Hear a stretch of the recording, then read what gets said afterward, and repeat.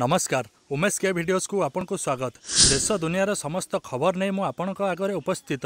ଦର୍ଶକ ବନ୍ଧୁ ସମସ୍ତ ଖବର ଜାଣିବା ପାଇଁ ଭିଡ଼ିଓଟିକୁ ଶେଷ ପର୍ଯ୍ୟନ୍ତ ଦେଖିନିଅନ୍ତୁ ନମ୍ବର ୱାନ୍ କରୋନା ପାଇଁ ଦୁଇ ବର୍ଷ ରାଜ୍ୟରେ ଲାଗିଲା ଆର୍ଥିକ କଟକଣା। କରୋନା ପାଇଁ ଦୁଇ ବର୍ଷ ପର୍ଯ୍ୟନ୍ତ ରାଜ୍ୟରେ ଲାଗିଲା ଆର୍ଥିକ କଟକଣା। ନୂଆ ନିଯୁକ୍ତି ଯୋଜନା ପ୍ରକଳ୍ପ ସବୁ ଉପରେ ଲାଗିଲା ରୋକ। ଆସନ୍ତା ଦୁଇ ହଜାର ବାଇଶ ମାର୍ଚ୍ଚ ଏକତିରିଶ ତାରିଖ ପର୍ଯ୍ୟନ୍ତ ରାଜ୍ୟର ସବୁ ପ୍ରକାର ନୂଆ ନିଯୁକ୍ତି ନୂଆ ପ୍ରକଳ୍ପ ପାଇଁ ଟେଣ୍ଡର ନୂଆ ଅଫିସ ଗେଷ୍ଟ ହାଉସ୍ ଓ କର୍ମଚାରୀ ବାସଭବନ ନିର୍ମାଣ ସମେତ ସରକାରୀ ଗାଡ଼ି କିଣାବିକା ବିମାନ ଓ ଟ୍ରେନ୍ ଯାତାୟାତ କର୍ମଚାରୀଙ୍କୁ ଏଲ୍ଟିସି ସୁବିଧା ସରକାରୀ କାର୍ଯ୍ୟରେ ରାଜ୍ୟରେ ହୋଟେଲ ବାହାରେ ରହିବା ହୋଟେଲରେ ସରକାରୀ ବୈଠକ ଓ ଭୋଜି ଆୟୋଜନ ଆଦି ଉପରେ କଟକଣା ଜାରି ହୋଇଛି। ନମ୍ବର ଟୁ ଓଡ଼ିଶାରେ ପହଞ୍ଚିଲା ଆଉ କୋଡ଼ିଏ ହଜାର ଆଣ୍ଟିଜେନ୍ ଟେଷ୍ଟ କିଟ୍। ଓଡ଼ିଶାରେ ପହଞ୍ଚିଲା ଆଉ କୋଡ଼ିଏ ହଜାର ରାପିଡ୍ ଆଣ୍ଟିଜେନ୍ ଟେଷ୍ଟ କିଟ୍। ଆସିଥିବା ଏହି ଟେଷ୍ଟ କିଟ୍ ମଧ୍ୟରୁ କଟକ ଏସ୍ସିବିକୁ ପନ୍ଦରଶହ ଅନ୍ୟ ପାଞ୍ଚଟି ମେଡ଼ିକାଲ କଲେଜକୁ ହଜାର ଲେଖାଏଁ କିଟ୍ ଏବଂ ଆଚାର୍ଯ୍ୟ ହରିହର କ୍ୟାନ୍ସର ହସ୍ପିଟାଲକୁ ପାଞ୍ଚଶହ କିଟ୍ ଯୋଗାଇ ଦିଆଯାଇଛି ବୋଲି ଆର୍ଏମ୍ଆର୍ସି ନିର୍ଦ୍ଦେଶିକା ସଂଘମିତ୍ରା ପତି ସୂଚନା ଦେଇଛନ୍ତି। ନମ୍ବର ଥ୍ରୀ ଗାନ୍ଧୀ ଜୟନ୍ତୀରୁ ଅନଲାଇନରେ ସମସ୍ତ ସରକାରୀ ସେବା। ଅକ୍ଟୋବର ଦୁଇରୁ ସମସ୍ତ ସରକାରୀ ସେବା ଅନଲାଇନରେ ଉପଲବ୍ଧ ହେବ। ସରକାରୀ ସେବା ପାଇଁ ଆଉ ଅଫିସ ଆସିବାକୁ ପଡ଼ିବ ନାହିଁ। ଗୃହ ସାଧାରଣ ପ୍ରଶାସନ ଓ ଅଭିଯୋଗ ବିଭାଗ ପାଇଁ ଏହା ଲାଗୁ ହେବ। ଓଡ଼ିଶାର ପ୍ରଥମ ରାଜ୍ୟ ଭାବେ ମହାକାଶ ବିଜ୍ଞାନ କୌଶଳ ବ୍ୟବହାର କରାଯିବ। ସରକାରୀ ଅଫିସରେ ପ୍ରବେଶ ପାଇଁ ହେବ ଇ ପ୍ରବେଶ ବ୍ୟବସ୍ଥା। ରାଜ୍ୟ ଅତିଥି ଭବନଗୁଡ଼ିକ ପାଇଁ କାର୍ଯ୍ୟକାରୀ ହୋଇଛି ଇ ଅତିଥି ବ୍ୟବସ୍ଥା। ସରକାରୀ କର୍ମଚାରୀଙ୍କ ପାଇଁ ଏଚ୍ଆର୍ଏମ୍ଏସ୍ ବ୍ୟବସ୍ଥାର ଶୁଭାରମ୍ଭ କରିଛନ୍ତି ନବୀନ ସରକାର। ଏଣିକି ଅନଲାଇନରେ ଛୁଟି ଋଣ ଓ ଇ ସର୍ଭିସ ବୁକ୍ର ବିବରଣୀ ମିଳିବ ବୋଲି ସୂଚନା ମିଳିଛି। ନମ୍ବର ଫୋର୍ ଗଞ୍ଜାମ ଜିଲ୍ଲାରେ କୌଣସି ଷ୍ଟେସନରେ ଅଟକିବ ନାହିଁ ଟ୍ରେନ୍।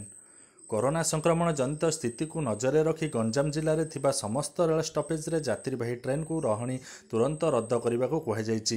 ଆଜି ରାଜ୍ୟ ସରକାରଙ୍କ ବାଣିଜ୍ୟ ଏବଂ ପରିବହନ ବିଭାଗ ପକ୍ଷରୁ ଏହି ଚିଠି ଜରିଆରେ ପୂର୍ବତଟ ରେଳପଥର ସାଧାରଣ ପରିଚାଳକଙ୍କୁ ଏନେଇ ସୂଚନା ଦିଆଯାଇଛି। ଗଞ୍ଜାମ ଜିଲ୍ଲାରେ କରୋନା ଆକ୍ରାନ୍ତଙ୍କ ସଂଖ୍ୟା ଦିନକୁ ଦିନ ବଢ଼ିବାରେ ଲାଗିଥିବା ବେଳେ ପରିସ୍ଥିତିକୁ ଦୃଷ୍ଟିରେ ରଖି ନିୟମକୁ ତୁରନ୍ତ ଲାଗୁ କରିବା ପାଇଁ ବାଣିଜ୍ୟ ଏବଂ ପରିବହନ ବିଭାଗ ପକ୍ଷରୁ କୁହାଯାଇଛି। ନମ୍ବର ଫାଇଭ୍ ଭୁବନେଶ୍ୱରକୁ ଆଜି ଛୟାଳିଶ କରୋନା ଆକ୍ରାନ୍ତ ଚିହ୍ନଟ। ରାଜ୍ୟରେ ଆଜି ପାଞ୍ଚଶହ ସତେଇଶ କରୋନା ଆକ୍ରାନ୍ତ ଚିହ୍ନଟ ହୋଇଥିବା ବେଳେ ସେମାନଙ୍କ ମଧ୍ୟରୁ ଛୟାଳିଶ ଜଣ ଭୁବନେଶ୍ୱରରୁ ଚିହ୍ନଟ ହୋଇଛନ୍ତି। ଚିହ୍ନଟ ହୋଇଥିବା ଛୟାଳିଶ ଜଣଙ୍କ ମଧ୍ୟରୁ ବାଇଶ ଜଣ କ୍ୱାରେଣ୍ଟାଇନ୍ ସେଣ୍ଟରରୁ ଓ ଚବିଶ ଜଣ ସ୍ଥାନୀୟ ଅଞ୍ଚଳରୁ ଚିହ୍ନଟ ହୋଇଛନ୍ତି। ଏହା ସହ ଅଠର ଜଣ ମଧ୍ୟ ସୁସ୍ଥ ହୋଇଛନ୍ତି। ଏନେଇ ବିଏମ୍ସି ପକ୍ଷରୁ ସୂଚନା ମିଳିଛି। ନମ୍ବର ସିକ୍ସ ରାଜ୍ୟରେ କରୋନା ଆକ୍ରାନ୍ତରେ ଆଉ ଛଅ ଜଣ ମୃତ୍ୟୁ ରାଜ୍ୟରେ ବୁଧବାର କରୋନା ଆକ୍ରାନ୍ତରେ ଆଉ ଛଅ ଜଣଙ୍କ ଜୀବନ ଯାଇଛି। ଗଞ୍ଜାମରୁ ତିନି ଜଣଙ୍କର ମୃତ୍ୟୁ ହୋଇଥିବା ବେଳେ ଖୋର୍ଦ୍ଧା କେନ୍ଦ୍ରାପଡ଼ା ଓ ରାୟଗଡ଼ା ଜିଲ୍ଲାରୁ ଜଣେ ଲେଖାଏଁ ମୃତ୍ୟୁବରଣ କରିଛନ୍ତି। ଏଥିସହ ରାଜ୍ୟରେ ମୋଟ କରୋନା ମୃତ୍ୟୁ ସଂଖ୍ୟା ଅଡ଼ଚାଳିଶକୁ ବୃଦ୍ଧି ପାଇଛି। ଏନେଇ ରାଜ୍ୟ ସ୍ୱାସ୍ଥ୍ୟ ବିଭାଗ ପକ୍ଷରୁ ସୂଚନା ଦିଆଯାଇଛି। ନମ୍ବର ସେଭେନ୍ ବାହାର ଜିଲ୍ଲାର ଲୋକଙ୍କ ପାଇଁ ସ୍ୱର୍ଗଦ୍ୱାର ମନା କୋଭିଡ୍ ପରିସ୍ଥିତିକୁ ନଜରରେ ରଖି ପୁରୀ ଜିଲ୍ଲାପାଳଙ୍କ ବଡ଼ ନିଷ୍ପତ୍ତି। ପୁରୀ ବ୍ୟତୀତ ଅନ୍ୟ ଜିଲ୍ଲାର ଲୋକଙ୍କ ପାଇଁ କାଲିଠାରୁ ସ୍ୱର୍ଗଦ୍ୱାର ମନା। ଆସନ୍ତାକାଲିଠାରୁ ପୁରୀ ସ୍ୱର୍ଗଦ୍ୱାରରେ ବାହାର ଜିଲ୍ଲାରୁ ଲୋକଙ୍କ ଶବଦାହ ଉପରେ କଟକଣା ଲାଗିଛି। ସମୁଦ୍ର କୂଳରେ ଅସ୍ଥି ବିସର୍ଜନ ନେଇ ମଧ୍ୟ କଟକଣା ଲାଗିଛି। ଏନେଇ ଜିଲ୍ଲାପାଳ ବଲବନ୍ତ ସିଂ ସୂଚନା ଦେଇଛନ୍ତି। Number eight. ଦଶ ପର୍ଯ୍ୟନ୍ତ ବଢ଼ିଲା କଟକ ସଟ୍ଡାଉନ୍। ସହରରେ କରୋନା ପରିସ୍ଥିତି ଦିନକୁ ଦିନ ବିଗୁଡ଼ୁଥିବାରୁ କଟକ ମହାନଗର ନିଗମ ପକ୍ଷରୁ ଲାଗୁ କରାଯାଇଥିବା ସଟ୍ଡାଉନ୍ କଟକଣାକୁ ଆଜି ଦଶ ତାରିଖ ଶୁକ୍ରବାର ମଧ୍ୟରାତ୍ର ପର୍ଯ୍ୟନ୍ତ ବଢ଼ାଇ ଦିଆଯାଇଛି। ଶନିବାର ଓ ରବିବାର ସମଗ୍ର ଜିଲ୍ଲାରେ ସଟ୍ଡାଉନ୍ ଥିବାରୁ ଏହି କଟକଣା ଆପଣା ଛାଏଁ ରବିବାର ଅର୍ଥାତ୍ ଜୁଲାଇ ବାର ତାରିଖ ପର୍ଯ୍ୟନ୍ତ ବଢ଼ିଯିବା ସ୍ପଷ୍ଟ ହୋଇଯାଇଛି। ନମ୍ବର ନାଇନ୍ ବ୍ରାଜିଲ ରାଷ୍ଟ୍ରପତିଙ୍କୁ କରୋନା। ବ୍ରାଜିଲ ରାଷ୍ଟ୍ରପତି ଜୋର ବୋଲସୋନାରୋ କରୋନା ଆକ୍ରାନ୍ତ ହୋଇଛନ୍ତି। ମଙ୍ଗଳବାର ପରୀକ୍ଷା ରିପୋର୍ଟରେ ତାଙ୍କର ପଜିଟିଭ୍ ଆସିଛି। ରବିବାର ତାଙ୍କୁ ସାମାନ୍ୟ ଜ୍ୱର ଆସିବା ପରେ ସେ କରୋନା ପରୀକ୍ଷା କରିଥିଲେ। ଏବେ ସେ ସୁସ୍ଥ ଥିବା ଜଣାପଡ଼ିଛି।